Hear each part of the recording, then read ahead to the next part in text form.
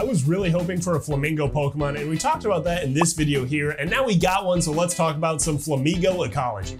Flamigo is this large flying fighting type Pokemon that is found around wetlands. They form these large flocks and are known as the synchronized Pokemon and gain access to the ability Co-Star which is when a Pokemon that has this ability enters the battle, it copies an ally's stat changes for itself. And these things, as well as its general appearance and just everything about it, tell me that it's incredibly similar to modern day flamingos.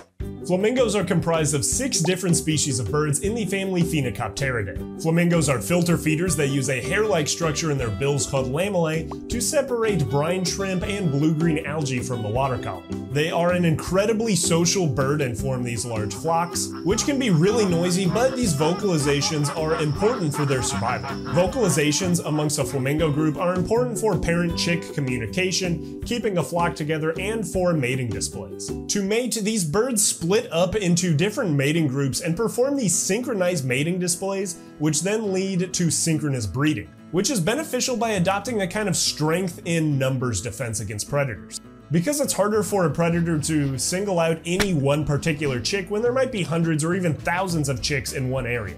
And before the synchronous breeding and chicks appear, flamingos form pair bonds, so they usually only have one long-term mate.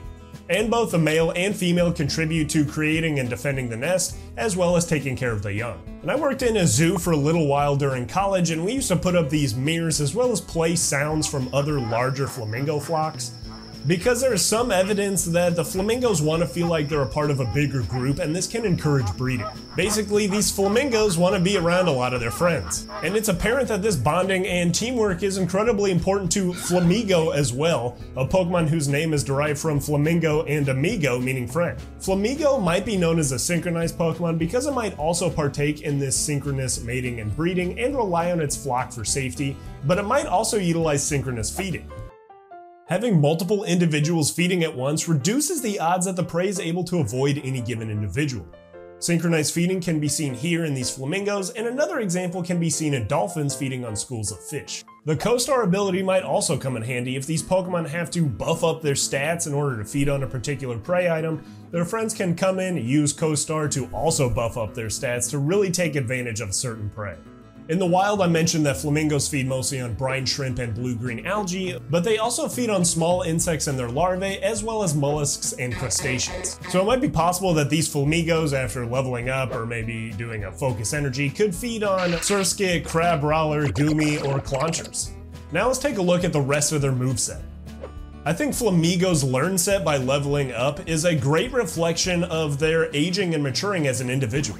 When a Pokemon hatches, it starts at level 1, and most Pokemon are fairly precocial, meaning that they hatch at an advanced state. This is like modern day ducks, which is in contrast to altricial young, which are more similar to modern day songbirds. Flamigo hatches knowing the moves Peck and Copycat. These are important for obtaining food from their parent as well as mimicking their behaviors to later become successful adults. Their next learned move is double kick, and this becomes especially useful for feeding. Flamingos and likely Flamigo often kick the substrate of the body of water they're standing in to stir up the mud and expose the prey items that they want to feed on. And since Flamingo and Flamigo are both filter feeders, they can simply strain their food from the mud and water that they kick up. So double kick is useful for stirring up the mud that they're standing on, but it also becomes useful for defending themselves from predators once they've been detected you know, like like the move detect. And finally, wing attack may signify their movement into adulthood and their ability to fly. Male and female flamingos feed their chicks using a crop milk, which is just a mixture of fat, proteins, and blood cells that are produced in the glands in their upper digestive tract.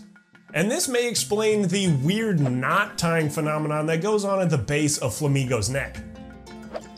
Maybe Flamigo also produces a kind of crop milk to feed its young and kind of wrings this out of its digestive tract that then travels up its neck, out of its beak, and into its young's mouth. So really the incredible power that Flamigo is trying to bottle up inside of its body is just some weird bird milk. Let me know what you guys think of Flamigo and its ecology, and thanks for watching.